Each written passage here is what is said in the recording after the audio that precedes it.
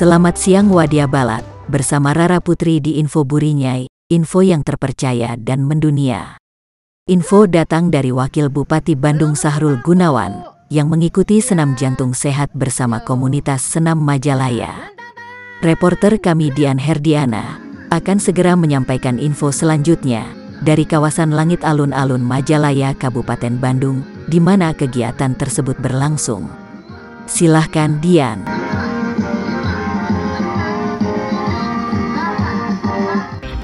Rara Putri dan Wadia Balat Info Burinyai, ya benar, Sabtu pagi, 2 Maret 2024, Wakil Bupati Bandung, Sahrul Gunawan, mengikuti kegiatan senam jantung sehat bersama komunitas senam Majalaya di alun-alun Majalaya. Kegiatan ini diikuti oleh ratusan warga Majalaya yang antusias berolahraga bersama Wakil Bupati Sahrul Gunawan.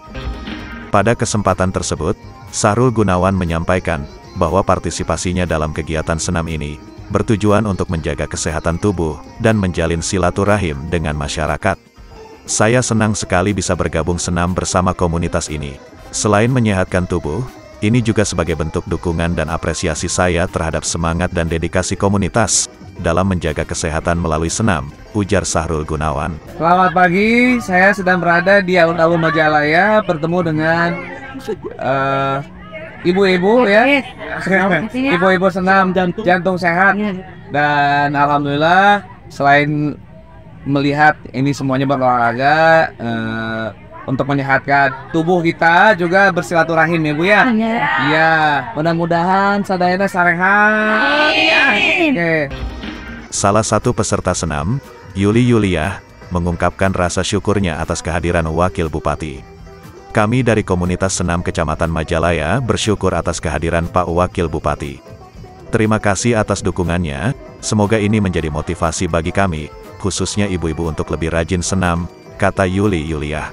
Alhamdulillah kita ke Kecamatan Majalaya dapat mereka kedatangan. Bapak Utuh Ini Bapak Syarul Gunawan kita ucapkan terima kasih. Itu kedatangannya. Semoga menjadi motivasi buat ibu-ibu untuk lebih rajin lagi senam. Terima kasih Wadia Balat Info Burinya, kegiatan senam ini diharapkan menjadi momentum untuk memperkuat solidaritas komunitas dan membangun gaya hidup sehat di Majalaya.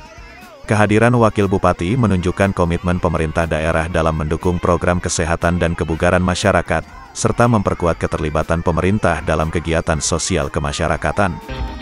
Dari kawasan Langit Alun-Alun Majalaya, Kabupaten Bandung, Dian Herdiana, reporter info burinya yang terpercaya dan mendunia, melaporkan.